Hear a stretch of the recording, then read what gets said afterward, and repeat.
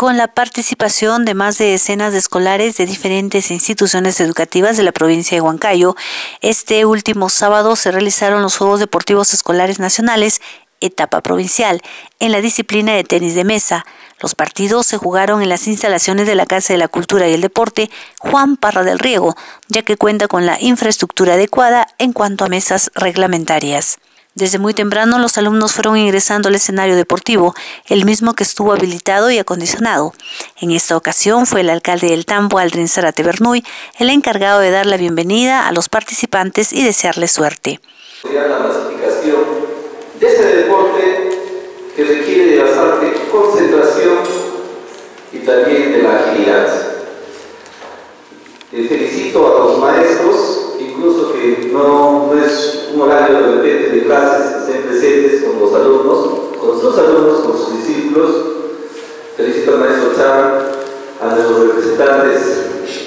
del tenis eh, nacional, regional, local, a los padres de familia que acompañan a los niños y a, nuestros, y a todos nuestros campeones, a cada uno de esos niños que se atreven a participar Sabemos que les va a ir bien al margen de los resultados porque van a consolidar experiencias muy importantes que les va a servir para más adelante lograr sus triunfos.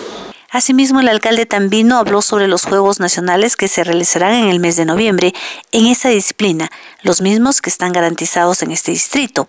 También resaltó el trabajo que vienen haciendo los profesores de la Escuela Deportiva Municipal en la masificación del deporte.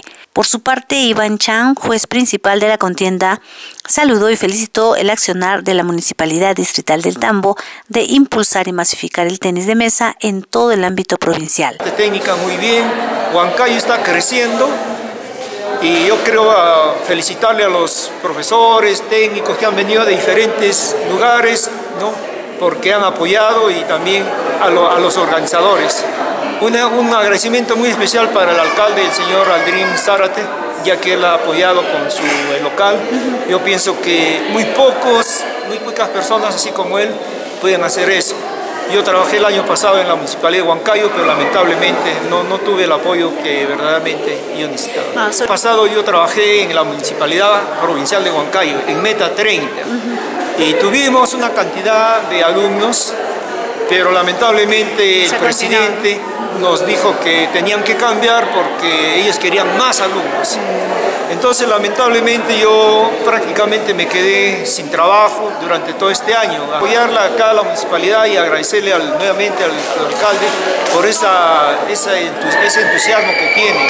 Y también hay un amigo que ha trabajado en Huancayo, ¿no? en el IPD, que es este, Cristian Galarza, ¿no? ¿no? Y todos los que apoyan en este programa. Fue así que los padres de familia y alumnos en general se mostraron muy contentos y satisfechos y luego, al llegar las 4 de la tarde, la cosa se puso candente con los partidos de final donde los chicos hicieron su mejor esfuerzo para clasificar a la siguiente etapa.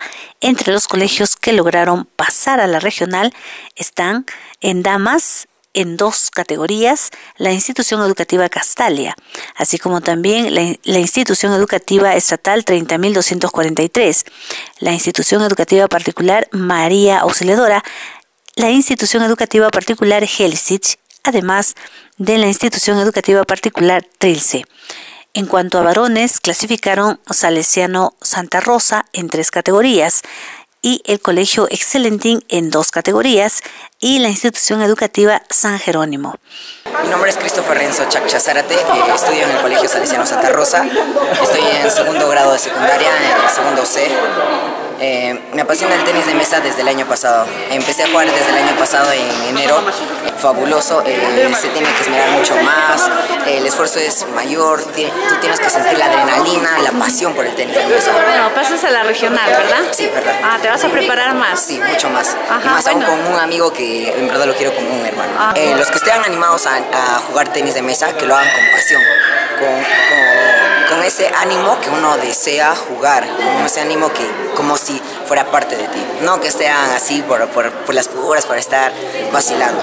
En realidad es un deporte muy complicado ya que eh, intervienen varios factores como la concentración y la técnica. Mm. ¿Y qué te parece la competencia el día de hoy? ¿Qué te La competencia aquí en Huancayo es muy complicada. Hay muchas chicas que juegan muy bien y es difícil ahora clasificar para interescolares, pero con esfuerzo y logro de la profesora entrenadores he podido lograrlo. Tres, ¡Casa de la Cultura del Tambo!